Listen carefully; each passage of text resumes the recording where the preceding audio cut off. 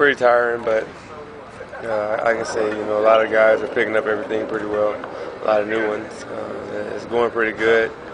Um, it's fun so far, so I'm happy to be here. And you're the veteran. You've, you've been through these before, but like you said, there's still some new things you guys are implementing.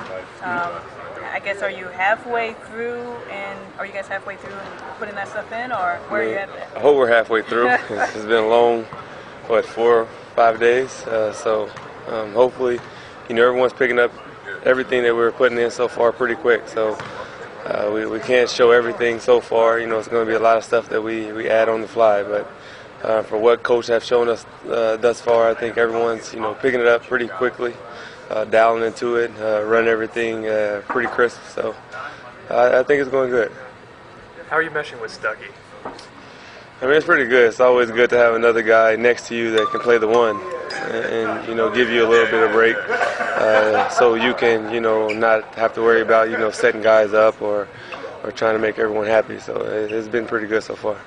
He joked the other day he had six coaches in his seven years in Detroit, so he's used to learning new systems. Is he picking up this one pretty quickly? I mean, definitely so. You know, I feel like we've tried to make it uh, easy adjustment for him, uh, give him simple things to, to learn and, and things like that, and he's picked it up very well. So, uh, you know, Coach Vogel's a good, does a great job of you know playing to guys' strength and throwing plays at guys who who has that strength, and I think with his style of play being almost almost similar to Lance style of play, uh, fits him right into the system very well.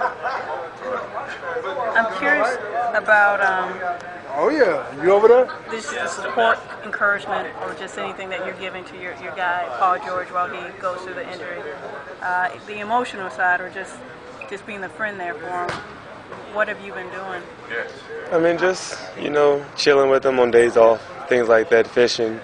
Uh, since both of us like to fish, we, we know we go out there and fish and clear our minds, talk about things that's that's either good or bad, or basketball related or not basketball related, and uh, just showing that, that I'm there. You know, I'm a brother he can count on, uh, that to talk to no matter what, and uh, just knowing him that, that all of us is here. Uh, he don't have to go through it by himself, knowing that all of us is here in his corner, trying to help him be the best he can be. I know some of the slight injuries you've had since a pro, but even going back to maybe your CYO days or just youth basketball days, did you have anything that was that took you out for an extended amount of time? Well, my, my junior year in college, my first junior year, I was out for the whole season with a fourth uh, fourth and fifth break in my metatarsal. So uh, when I when I had that, I was kind of out for the whole year. So I know how he feels, uh, staying off his feet. Um, mine was on the, the toe area, so I couldn't actually be pressured for three months uh, because I tried to come back too early and, and kind of mess it up. So just you know, giving him my my thoughts about you know trying to rush stuff and, and not letting it properly heal and things like that. But uh, with the progress that we've seen, he, he's doing a great job. So.